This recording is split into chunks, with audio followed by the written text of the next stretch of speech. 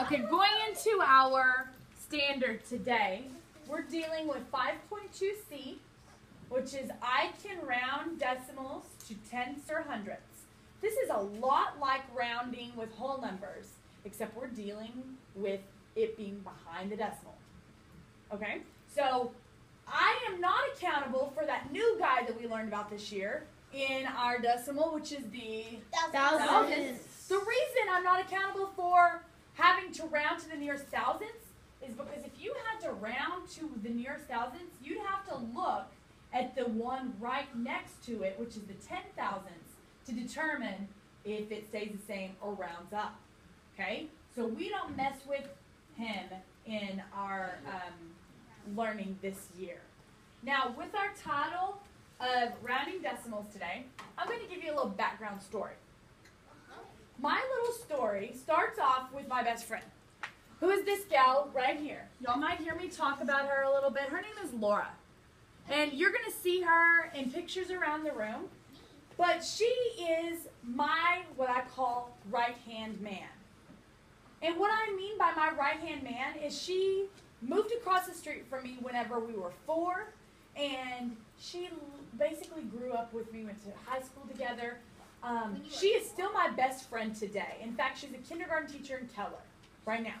And I do all my photography with her. Now, she's my partner in crime, my best friend, my confidant, one who tells me secrets, who I trust. So, what that has to do with today, her being my right hand man, in decimals, we actually deal with the right hand man. In fact, I want us to do an example of 0.49. How do I say this in word form, Jasmine? Excellent. Well, if I wanted you to round, say to your nearest tenths, because that's how you're going to hear it this year round to your nearest tenths, round to your nearest hundredths. I'm not stating that you no longer will be rounding the whole numbers, but you've already learned that. Today we're going to talk about rounding to nearest tenths and hundredths. So we're going to start off with an example of our tenths. Get this one in your notes. So with 49 hundredths, I am going to go to that, refer to that poem that we wrote, or that way of remembering. I'll get right back to it. How do I round? Well, I always think about the number in question. Which place value am I rounding to? And it's the right hand man, the digit right next to it, that tells it if it's four or less, it's going to let it rest or remain the same. If it's five or more, it's telling it to raise the score or add one more or basically round up. So let's look back at that number 49 hundredths. What I want y'all to get in the habit of doing is circling the place that's in question. Which one, which place do I need to circle, Cole? The tenths, The tenths, which is which digit? The four. Circle the four in your notes. And the one right next to it, I want you to underline because this is the right hand man.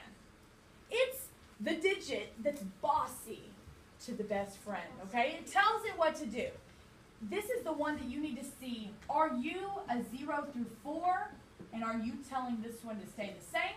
Or are you five through nine? And if that's the case, it's going to say boot up, become one more. So what is that nine telling it to do? Boot up. Good. What does it boot up to become, Mark?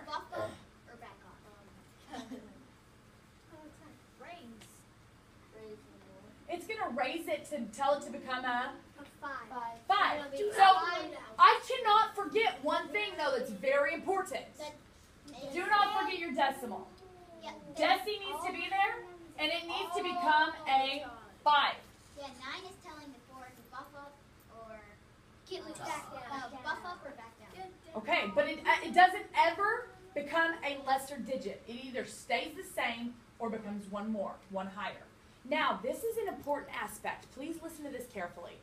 In the past, y'all are used to, once you raise that one or tell it to stay the same, what does everything behind it become? Zero. It becomes a zero. Now I need you to know that in decimals, zero has no value. So I can, in fact, put that zero there. But also, exactly, I could put however many zeros would be needed.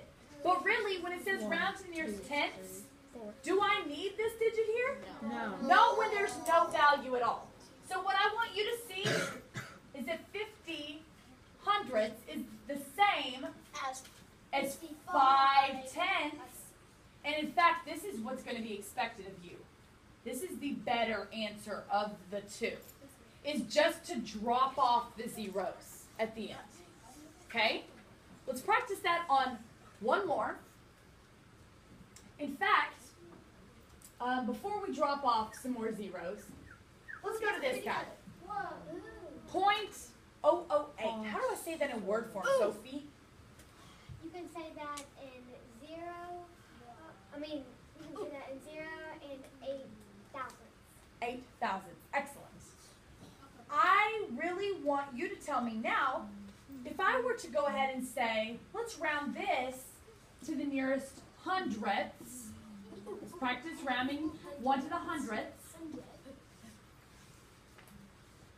Hundredths, Jackson. It would be zero and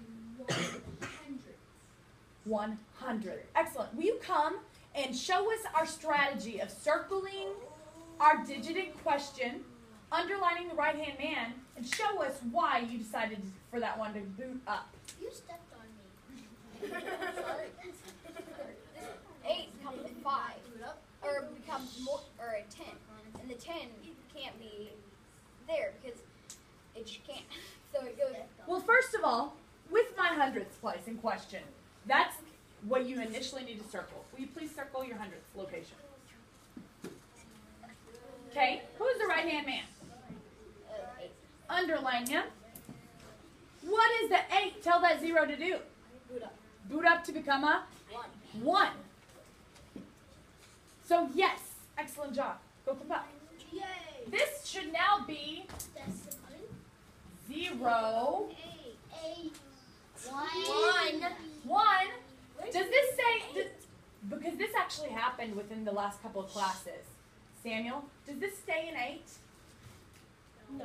No. no. It automatically becomes a Zero. zero. And what did we say to do with the zeros? They out. just drop off because really this is equal to this, and this is the better answer. Whenever I said round to the nearest hundredth, this is my hundredths place. That's where it should end. Your zero vanishes. Awesome. It's like you're in an airplane and it just drops out. Um. Drop out some manure. Drop some manure. Okay, so they have to. So No, let's it's like people just jumping on a helicopter. Wait.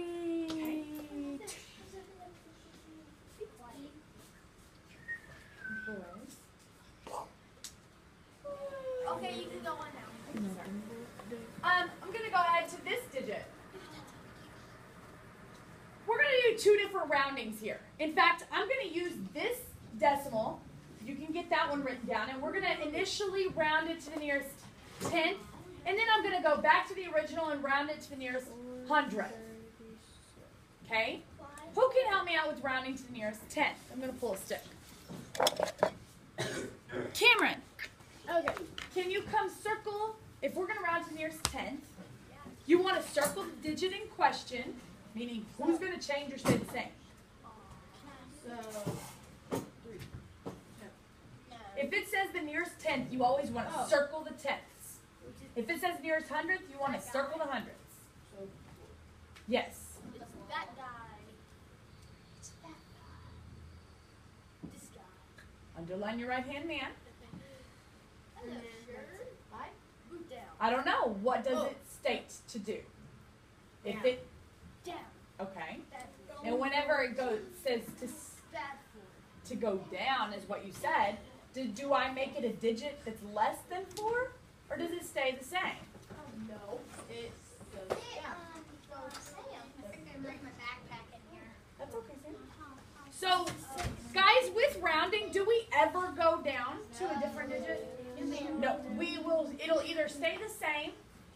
That's why I, I never use those terms round down. I always say round to stay the same or round up. Yes, good. But remember to include your decimal as well. Okay? So write that underneath that. Our new decimal to the nearest tenth. Hey, You want me to write that? Yeah. On YouTube.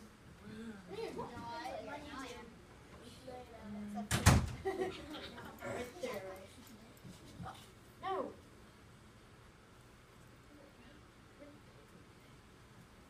What do we say happens after we round this to the nearest tenth? What happens to everybody behind? Yeah. No, our decimal does not move. Oh, I Decimal thought not it new. Um, Use the eraser. Use the. Oh. oh my god. Just put it down flat. No, like the eraser, put it flat to the board. Well, it should work. Not that versus one good drawing. Oh, wow. Oh. You destroyed it. Oh, dude, that's bad. Now, Cameron, one thing I want you to think. Whenever I round, pretend this is just the number 437. If I am rounding this to the nearest hundred, whenever you round it to the nearest hundred, what did everybody behind it become? Zeros. Good. So it's going to be the same thing here. What does everybody become behind it? Zeros. Good. So place those zeros there. And then we're going to talk about it as a class. But my decimal also needs to come down. The same place where it was. Excellent. Go, Kupa. Good job. And y'all, this is fresh. This is brand new. So, as there are questions, we'll kind of answer them. Now, since Cameron did this so great and rounded to our nearest tenth, we need to just stop at our tenth place. So what do I do with these zeros, Samuel? Drop them. I just drop No, them can. I do it? Okay. So it's going to be point four. Now let's take that same decimal, point four three seven, four three seven, and I'm going to round the same number to the nearest hundredth. Ooh, can I do it? Sonia, come and round this to the nearest hundredth.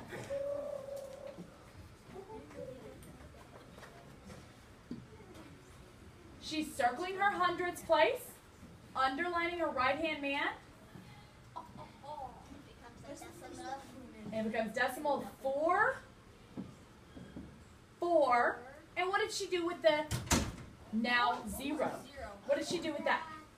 Dropped it. She just dropped it. Good. And it became 44 hundredths. Go ahead and clip up. I'm a little